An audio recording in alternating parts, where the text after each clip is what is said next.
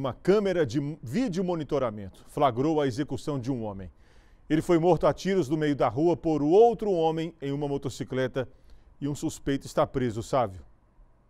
Exatamente, Saulo. Mais um caso né, de violência registrado aqui na nossa região. Né? O suspeito desse crime é um homem de 28 anos que foi encontrado na cidade de Barra de São Francisco, no Espírito Santo, na noite dessa terça-feira, Saulo. A polícia né, conseguiu chegar até ele é, depois de um intenso trabalho de rastreamento e depois de ter acesso a imagens de um circuito de vigilância como essa que você está vendo aí na tela é, e também de conversar com testemunhas é, do crime. A vítima desse homicídio é um homem de 29 anos. Ele foi encontrado já sem vida é, pelos militares. Né? A polícia identificou o suspeito após ter acesso às imagens do circuito de vigilância, ouvir testemunhas e durante as buscas, os militares localizaram um carro que teria dado fuga a esse suspeito. Durante a abordagem a esse veículo, os militares receberam informações sobre o paradeiro desse suspeito. Os militares montaram uma operação, foram até a cidade de Barra de São Francisco, no Espírito Santo, conseguiram identificar o imóvel onde esse homem estaria escondido, fizeram um cerco até esse endereço